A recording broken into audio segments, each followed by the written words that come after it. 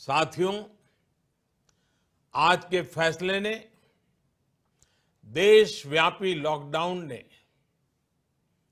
आपके घर के दरवाजे पर एक लक्ष्मण रेखा खींच दी है। आपको ये याद रखना है कि घर से बाहर पड़ने वाला आपका सिर्फ़ एक कदम,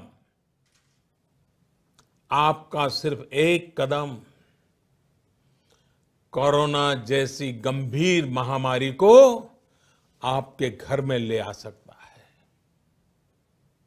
आपको ये याद रखना है कि कई बार कोरोना से संक्रमित व्यक्ति शुरुआत में बिल्कुल स्वस्थ लगता है।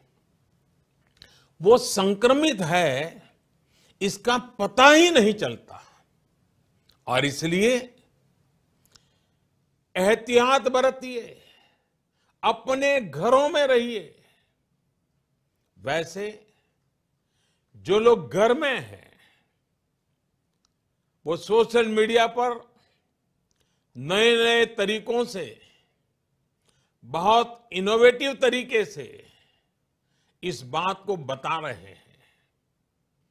एक बैनर जो मुझे भी पसंद आया, मैं आपको भी। ये बहुत कम शब्दों में संदेश दिखाना चाहता हूँ। कोरोना यानी कोई रोड पर ना निकलने। कोरोना यानी कोई रोड पर ना निकले।